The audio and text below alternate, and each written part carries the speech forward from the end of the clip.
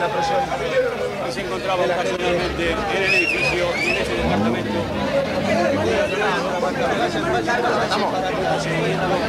Corta, corta. Zona del primer piso, viene acompañado por personal policial.